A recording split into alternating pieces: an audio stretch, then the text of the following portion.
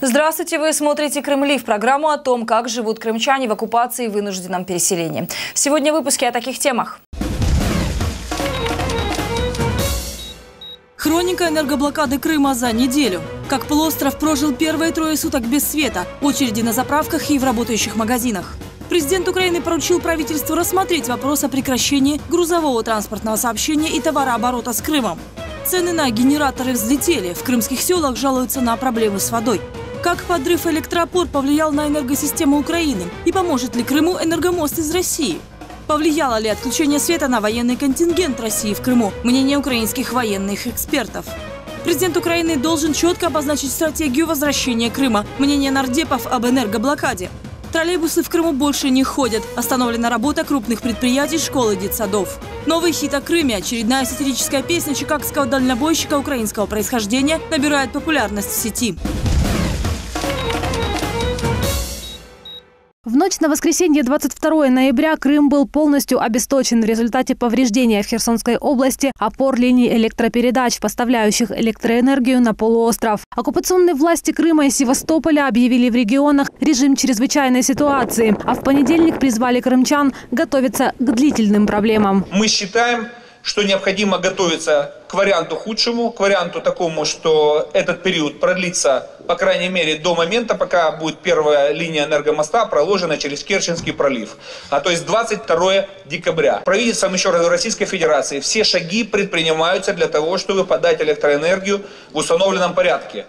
Понедельник, 23 ноября, Аксенов объявил выходным в Крыму для всех, кроме республиканских и муниципальных учреждений. Школы и детские сады полуострова закрыты на вынужденный выходной. Энергоснабжение больниц производится при помощи дизельных генераторов. Однако там возникла проблема с водой. Из-за перебоев со светом ее приходится подвозить. Ажиотаж наблюдается на крымских автозаправках. Во многих из них уже закончились отдельные виды топлива. Там выстроились часовые очереди. Крымчане скупают топливо впрок и для автомобилей, и для генераторов. Отсутствие электричества также остановило работу магазинов крупных торговых сетей. А в тех, которые продолжают работать, огромные очереди. Люди скупают все, что есть на полках. Однако на настроение крымчан перебои с электричеством не повлияли. Мы попросили жителей полуострова оценить сложившуюся ситуацию. В большинстве крымчане в проблеме обвиняют Украину. И уже привычно, готовы терпеть. Даже мы не переживали ни за холодильники, ни за что. Так что ничего страшного. Перетерпим. Правильно? Это временно. Все временно, все возобновится, все делается, все будет хорошо. Очень отрицательно отношусь. Э, Поступили они э, неправильно, именно, наверное, чисто по-хохляцки. Нельзя так, э, не з'їм так по надкусию. Но я думаю, что лишь бы мир был на земле. Мы рады, что у нас здесь мирно, и мы все переживем, поэтому ничего страшного нет. И довольны, и недовольны. Все равно нас, наша Крым, наша Россия без света не оставить. Неудобства, ничего. На все привыкли. Бывает, свет не бывает. Ну, еще мы на свет не жаловались до сих пор. Только вчера два дня немножко свет не было. Сейчас опять свет установили у нас очень хорошо. Ну, моя оценка какая? Ну, как говорится, все в стране нормально. Мы это потерпим, что нет света. Мы привыкаем к этому. Это ж неправильно. Этот, э. Я сам украинец, живу в Крыму 46 лет на этом месте. Это полнейшее безобразие. Это сделали на свою голову. Знаете, как есть поговорка? Русские не сдаются. Было у нас, как говорится, тяжко за все эти года, пока мы были, так сказать, под Украиной. А сейчас ничего. Дядя Вова нас в обиду не даст. В настоящее время энергосистема Крыма обеспечивается электроэнергией за счет собственной генерации. Однако в российском МЧС уже сообщили, что запасы горючего для крымских электростанций на исходе. Их хватит на три дня. Не менее сложная ситуация и в Севастополе. Там из-за отсутствия света остановились троллейбусы, отключены уличное освещение и рекламные носители. Оккупационный губернатор города также просит горожан готовиться к худшему. Еще раз хочу обратиться ко всем севастопольцам. Не надо поднимать ажиотажа, вот. не надо э, впадать в панику. Самое главное, еще раз сохранять спокойствие вот, и работать в нормальном режиме. Тем временем украинские власти пока не могут сказать, когда возобновится энергоснабжение полуострова и ряда регионов Херсонской области, которые тоже пострадали в результате подрыва опор. Министр энергетики и угольной промышленности Украины заверил, что ремонт поврежденных линий электропередач станет возможен только после доступа к ним ремонтных бригад. Ситуація на даний момент е, досить складна в тому, що лінії пошкоджені, поки що немає можливості е, розпочати їхнє відновлення. Як тільки буде можливість, наші служби на місці, у нас шість груп е, окремих е, готові із кранами, із опорами, із всіми матеріалами, які необхідні, готові відновлювати. Украинские власти пока не договорились с участниками гражданской блокады Крыма о допуске ремонтных бригад к поврежденным линиям электропередач. Если удастся достичь компромисса, на ремонт поврежденных линий и возобновление энергоснабжения, по подсчетам Минэнерго, понадобится около пяти дней. Украинские власти намерены прекратить все торговые отношения с оккупированным Крымом. Президент Украины Петр Порошенко поручил премьер-министру обеспечить блокирование товарооборота с полуостровом, а также грузовое, транспортное и железнодорожное сообщение с ним. Письмо в адрес Арсения Яценюка обнародовала пресс-служба главы государства. В связи с обострившейся ситуацией на админгранице с Крымом премьеру поручено создать рабочую группу по изучению вопроса прекращения всех торговых отношений и транспортных сообщений с полуостровом. Напомним, поставки украинских товаров и продуктов в Крым на админгранице уже два месяца блокируют гражданские активисты. Поручение Порошенко о прекращении торговых отношений с полуостровом является первой публичной реакцией украинских властей на происходящее и, по сути, означает узаконивание акции. Так называемый глава Крыма Сергей Аксенов во время заседания Совмина уволил министра топлива и энергетики Сергея Егорова за невыполнение служебных обязанностей. После доклада Егорова об энергоснабжении полуострова в условиях отключения со стороны Украины Аксенов раскритиковал работу министерства по составлению графиков веерных отключений и несправедливое распределение электроэнергии, генерируемой на полуострове, по городам и районам. В селах люди буквально выживают как могут. Третьи сутки крымчане без света и воды. С понедельника кое-где электричество появилось. Правда, в то время, когда люди спят. Один раз в сутки на 4 часа. Однако крымчане стойко переживают трудности. Мозги-то есть у всех. Мы понимаем, в чем проблема, мы готовы к этому. Ну нет и нет, перетопчемся как-нибудь. Ну, Появилось не очень удачное, конечно, решение с подачи света с 0 до 4.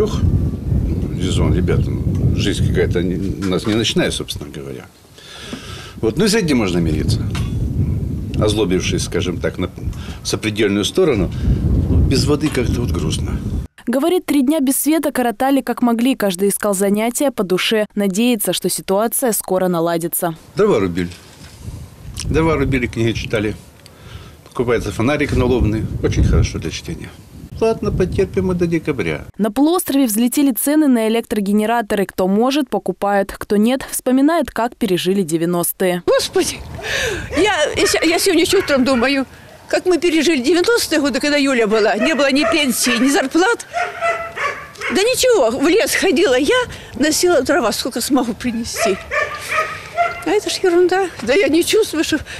Плохо, что компьютер, не могу сесть за компьютер, поиграть. И все. Все проблемы. А сейчас сказали, вот это в магазине была, на генераторе цена подскочила аж до 90 тысяч. Кошмар. Люди что на этом делают деньги. На, нашем, на, на нашей же беде. Больше всего в селах и поселках страдают маленькие дети. В основном из-за отсутствия воды. Народ недоумевает, почему так произошло, и теперь они вынуждены жить в неудобствах. Ну что это, вот маленький ребеночек, три месяца. Не подогреть, не, помыть ребенка. Ну что это, ни воды не накачать. У каждого вот эти агрегаты стоят, покупают. Они стоят сколько? Совсем, а, я не знаю. Причем а, Украина, это что она к нам прицепилась, что мы ей плохое сделали. Мы ей плохое ничего не сделали. Они вместе с нами там не могут разобраться. Проблемы есть и у школьников. Выпускникам приходится делать уроки ночью. Э, Такие условия нам не нравятся. Нам вообще не неудобно. Мне вот, как ученица 11 класса, без света неудобно готовиться к экзаменам. Поэтому приходится вставать ночью и искать информацию, чтобы получить какие-нибудь знания. Есть и те, кто вообще не знает, почему в населенном пункте нет света, так как ни радио, ни телевидения нет, и о причинах отключения эти люди не слышали. А, поэтому тут света нет. Я не знаю, что там у них. В этом деле не в курсе. Ну, трудности как? Ничего не сготовишь. Потому что у нас электроплита. У нас газа нету. И вообще без света спать ложишься рано. Плохо без света. Жители сел не знают, на кого надеяться, говорят, долго так не протянут. А что можно сделать, не представляют, обвиняют и Россию, и Украину. В результате обесточивания оккупированного Крыма на двух украинских АЭС снижены мощности производства электроэнергии. Речь идет о Запорожской и Южноукраинской АЭС, которые теперь вырабатывают на 500 мегаватт электричества меньше, чем до подрыва электроопор на Херсонщине. Вопрос с возобновлением подачи электроэнергии должен решиться после допуска ремонтных бригад к поврежденным линиям. А вот решение о полной энергоблокаде полуострова украинские власти принять не готовы, заявляя, что отключение грозит украинской энергосистеме авариями и выходом из строя атомных электростанций. Такие же заявления звучат и от оккупационных властей Крыма. В Ассоциации «Украинский ядерный форум» информацию опровергают и заявляют – это не более чем миф. На самом деле снижение мощности – это абсолютно регламентный процесс. И это происходит на атомных станциях, э, когда есть диспетчерские ограничения. Например, э, в ночное время. И это было, например, летом этого года – когда вместо того, чтобы покупать э, по контракту с Российской Федерацией недостающую электроэнергию нам в пиковое потребление утренние и вечерние часы, она покупалась ровным графиком, в том числе ночью. И тогда никто не говорил о том, прежде всего, Укрэнерго, как системный оператор объединенной энергосистемы, что это опасно, разгрузка атомных электростанций. На данный момент ситуация в Крыму сложная. Полуостров обеспечивается электричеством только за счет собственной генерации, которая покрывает лишь 30% потребностей. В регионе объявлен режим чрезвычайной ситуации. Решить проблему в ближайшее время не удастся, признают местные власти. Мы считаем, что необходимо готовиться к варианту худшему, к варианту такому, что этот период продлится, по крайней мере, до момента, пока будет первая линия энергомоста проложена через Керченский пролив. А то есть 22 декабря. Правительством еще раз Российской Федерации все шаги предпринимаются для того, чтобы подать электроэнергию в установленном порядке. О строительстве энергомоста для обеспечения протоков энергии с российской стороны и увеличении собственной генерации на полуострове чиновники говорят уже почти два года. Сроки и планы все время меняются. В последний раз энергомост обещали построить к 2016-му. Однако объекты крымской генерации на Таманском полуострове планируют создать не раньше 2018 года. Поэтому срок 22 декабря, о котором говорит Аксенов, это новое вводное, притом, скорее всего, неосуществимое, считает украинский эксперт Сергей Дяченко. Там е, спочатку говорили про 200 МВт, потім про 400, але все одно там дефіцит вдвічі більший. По-друге, е, поки що це розмови, е, ніхто не бачив ТЕО повноцінного чи якоїсь документації. Якийсь рух на узбережжі ведеться, але там замулене дно в Керченській протоці, там з високою ймовірністю цей кабель може порвати, навіть якщо закріпити належним чином. Це дуже велика проблема. Я так розумію, зараз фахівці в Росії думають, як її вирішити. Участники гражданской блокады Крыма по-прежнему не допускают ремонтные бригады к поврежденным линиям электропередач, требуя взамен от украинских властей полного прекращения поставок электроэнергии на полуостров. Мнения на этот счет в украинском экспертном обществе разделились. Ольга Кошарная, например, поддерживает идею энергоблокады Крыма. Нужно было отключать давно, два года, ну, когда началась война. Ничего с нашей энергосистемой не случится э, украинской. Сергей Дьяченко считает, что украинские власти могут оказывать влияние на российских и оккупационных чиновников и без полного отключения электроэнергии в Крыму. Я щодо енергоблокади не впевнений, а щодо тиску і обмеження, це я підтримую. Зрозуміло, що мова йде про режими торгівлі і режими постачання води і електроенергії. Ну це мусить бути предметом тиску. Эту идею украинская общественность пытается донести до властей с первого дня оккупации Крыма. После гражданских протестов на админгранице с полуостровом удалось добиться лишь поручения президента Украины премьеру о прекращении всех торговых отношений с Крымом. Однако закон, обеспечивающий этот процесс, пока не отменен. Вопрос с блокированием поставок электричества в Крым пока на государственном уровне не решен. Договор с Россией об энергоснабжении действует до конца года.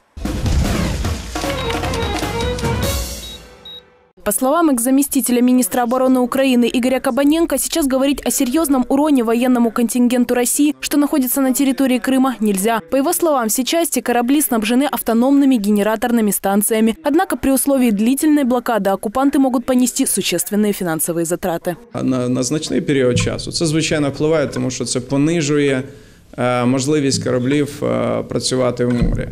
Е, Ну, наприклад, там е, дизель-генератор в середньому, в середньому там має різного, різного класу, різних е, там систем, має там, ну, наприклад, там від, від 5 до 15 тисяч годин наробки до ремонту. От можете порахувати, помножити це все і так далі. Тобто проблеми виникнуть десь через декілька місяців, там, може через півроку, коли буде потрібно міняти дизель-генератори і ставити масово кораблі в ремонт. І от вплине.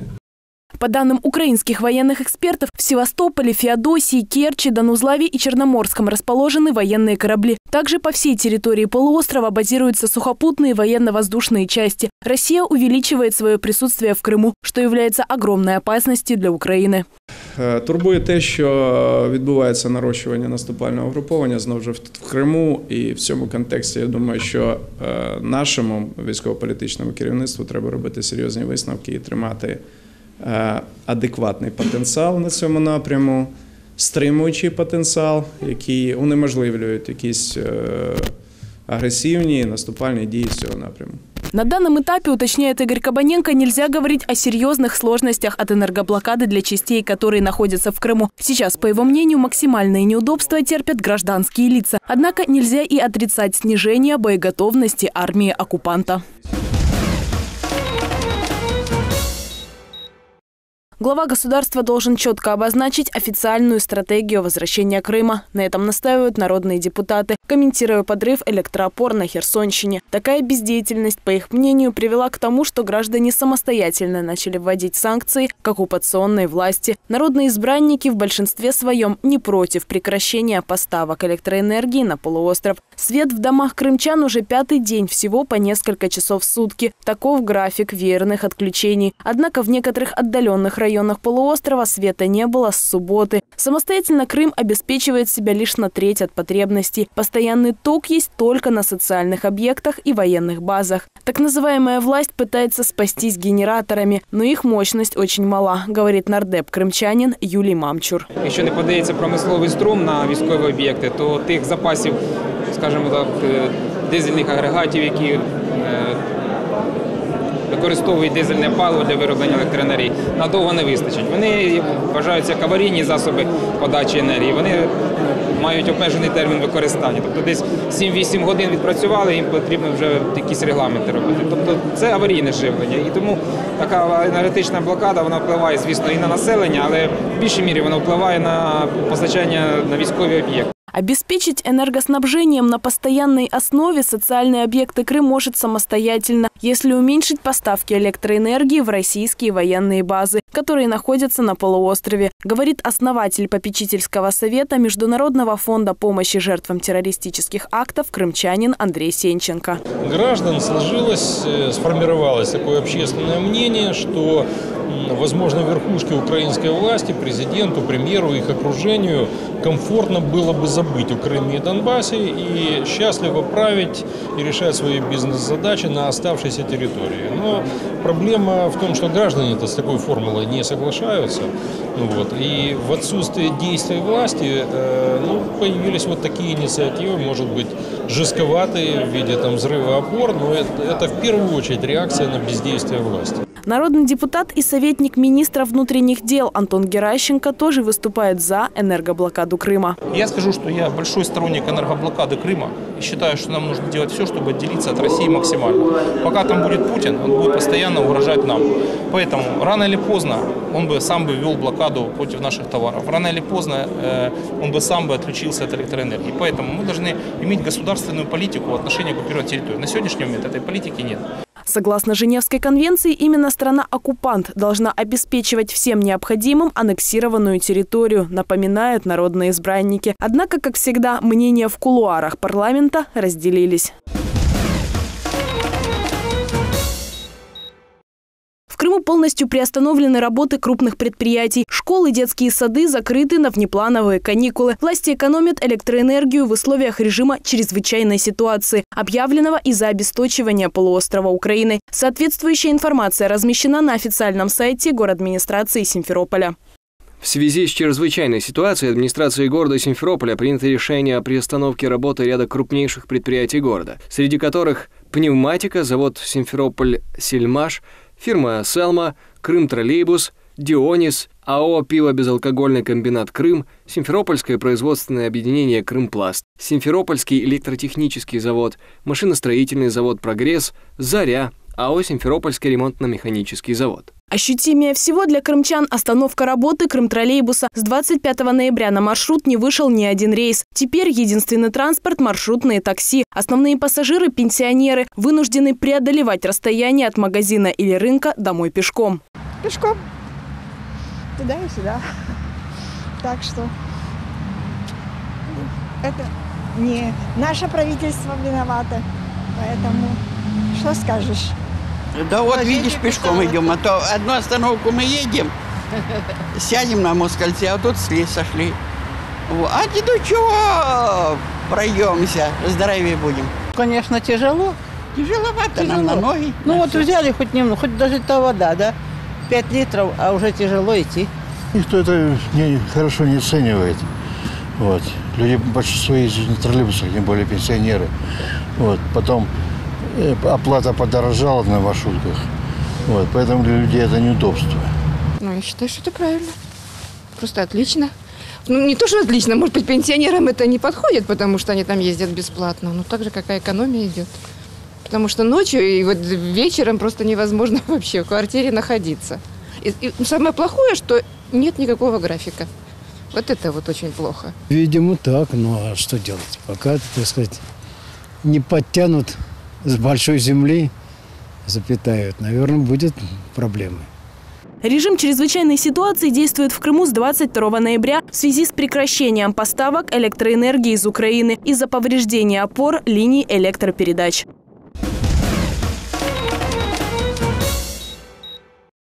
Новую песню об обесточенном Крыме представил известный американский дальнобойщик украинского происхождения Вадим Дубовский. Это водитель с профессиональным вокальным образованием, знаменит своей политической сатирой, которую исполняет прямо за рулем машины. Свежий хит он назвал «Начало конца Крым наша». Использовал музыку Александры Пахмутовой, ныне ярой приверженки политики Путина.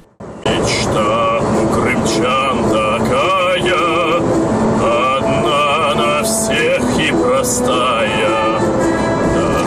как-нибудь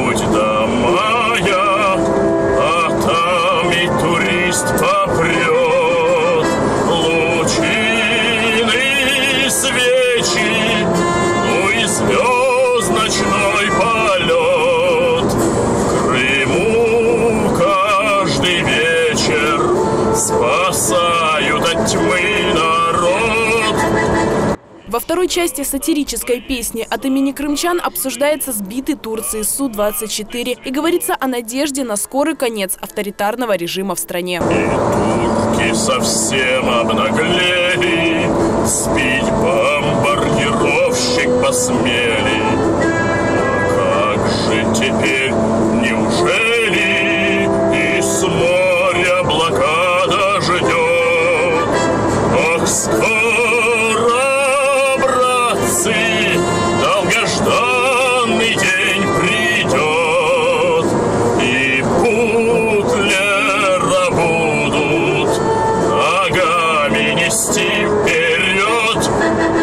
Вадим Дубовский родом из Донецка. Вокал изучал в Киевской консерватории. 13 лет назад уехал в США, живет в Чикаго. Он написал уже 17 сатирических песен. Первая из них появилась сразу после аннексии Крыма. Поющий дальнобойщик выкладывает хиты на свой канал Ютуба. Делать это убедила его жена. Стихи придумывает в пути, использует музыку советских композиторов. Записывает свою сатиру на мобильный телефон в своей кабине шофера. За сутки новое видео Вадима Дубовского под названием «Начало-конца Крым наша» набрало уже 80 тысяч просмотров. Ну а в целом нашумевшая сатира дальнобойщика набирает сотни тысяч лайков в Ютубе. Это были все новости на сегодня. Больше информации на сайте Черноморки Black Sea TV. А я прощаюсь с вами до следующей недели.